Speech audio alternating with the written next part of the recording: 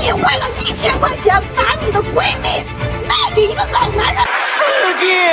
石爱强，我跟你讲，你以后再迟到，你明天别来了。明天我给你分配的任务必须做完，不会知，道吗？什么时候？这不早不等他老婆的车吗？不是，怎么在叫救命啊？什么情况？老哥，老哥，老哥，老哥，怎么了？别动，别动！哎哎哎，怎么了？怎么了？你喝多了？好多好重的酒啊！没有你没有喝多？你给我请假去喝酒去了？没有没有，是谁的？哎，我朋友别管了，我知道你朋友。你什么朋友啊？喝这么就烂醉如泥？什么朋友？就就我就喝一块出来玩嘛。一块出来玩，你准备干嘛呢？啊？准备干嘛呢？我送他，我送他回家。你喝多了，你喝多了。别碰没有，我我我不碰你，我不碰你，我不碰啊！高明亮，这不是我们电商部的淘汰吗？要不我我俩就出来一块儿什么。朋友？你在这给我撒谎呢啊！别把衣服都解开了，你看，你这是想干嘛呢啊？你想干嘛呢？图谋不轨是不是？今天晚上跟我请假说头疼要回家，回家带着电商部的学员，人家刚来学习第三天，带人家哭得烂醉如泥。我跟石海强刚下班从那里路过，听到救命声，什么情况？你给我讲，什么情况？一块儿出来玩一下吗。怎么玩？喝点酒吗，没什么呀。没什么，准备带他去哪呢？啊？准备带他去哪呢？送他回家是去你家还是去哪儿？怎么送他回家？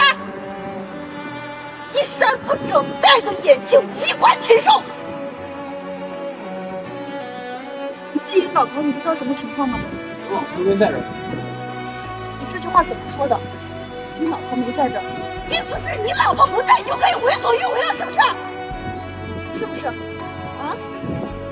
人家十八九岁，如花似玉的一个小姑娘，被你灌得烂醉如泥。如果说今天晚上发生任何事情，你担得起担不起？他一看就是出来玩的嘛，大不了到大不了到最后给点钱嘛。给钱！什么事情是用钱解决的，是吗？你很有钱是吗？高明亮，你很有钱。如果说你很有钱，你怎么可能背井离乡，抛下老婆、孩子、父母，来到贵阳创业？你多有钱呀！我没记错的话，你上个月做电商就赚了三万多块钱吧？啊，三万二，对不对？就这点钱就让你给我飘成这个样子了，啊？就让你给我飘成这个样子了。你你你坐一下。我跟你说哈，高明亮，如果说今天晚上但凡发生什么事情，你给我吃不了兜着走，那能有什么事？能有什么事儿？你图一时之快。今天晚上把他带回家，带回酒店糟蹋了，你有没有想人家十七八岁怎么办？怎么办？人家这辈子就完了。刚毕业，刚出社会，对社会充满了希望，可能这辈子都活在你个老男人的阴影当中，真不要脸！你妻子老婆怎么了？我问你，你老婆孩子怎么办？啊，你的孩子刚刚几个月，你就离开他们了，你老婆在家照顾完你父母，照顾你的孩子，高明亮照顾你的孩子，你就你就给我这个样子，你还有脸跟我讲，有脸跟我说了啊？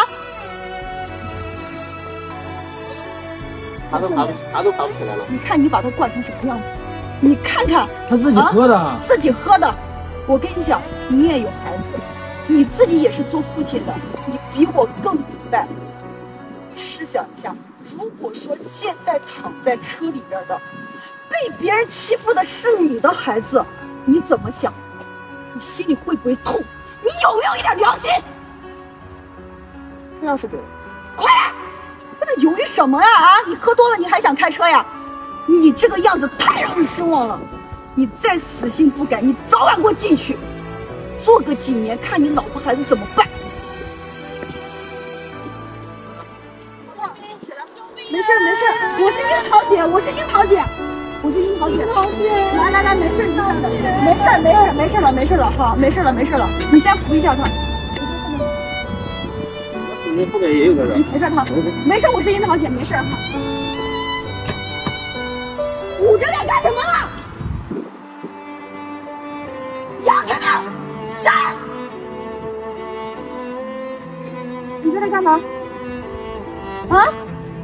我和高高一起送桃桃回家呀。一起送他回家。对啊，我看你是清醒着呢，你没喝酒呀？啊，杨婷婷，你这么清醒，你没有喝酒，你的闺蜜在这让被他硬塞到车里，你无动于衷，你怎么想？啊，你俩唱没好看，会唱吗？有没有唱歌？没有啊，我他给你了什么好处？没有好处啊。没有好处，没有好处，就这样看着自己的闺蜜被别人糟蹋，我不相信。王明亮，给她了什么好处说？给他一千块钱，王明亮，干嘛呢？一千块钱就把你闺蜜给出那儿了？啊？你的良心会不会痛？我为什么良心会痛啊？整个公司就高高一个人对我最好，你们所有的人能把我放在眼里了吗？我来了三四个月了，你们怎么对我的呀？他才来三四天，你们所有人都围着他转，凭什么呀？杨婷婷，在公司我对你怎么样，你比谁都清楚。啊？你在那给我大吼大叫什么？你给我冷静一下！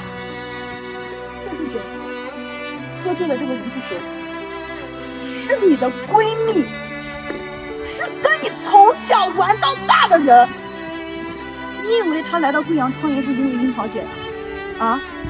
十八九岁刚毕业，你比她大个五六岁，她的父母放心她从河北大老远的来到贵阳吗？是因为你在这儿，是因为她的好闺蜜杨婷婷在这儿，所以她的父母才放心让她过来跟着你。你现在倒要好，啊，因为你的自私，因为你的嫉妒，你为了一千块钱把你的闺蜜卖给一个老男人，让他糟蹋，你有理了是吗？你良心会不会痛？我问你，良心我良心怎么会痛啊？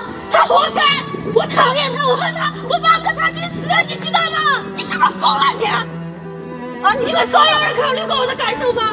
你们在乎过我吗？我哥就希望他去死，我爸爸他现在就去死，你知道吗？杨婷婷，我不想听你说。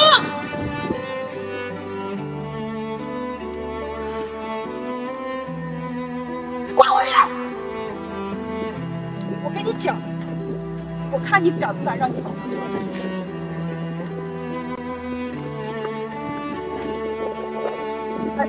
能走不？这样吧，来，坐坐着，我送你回家去。拿好。啊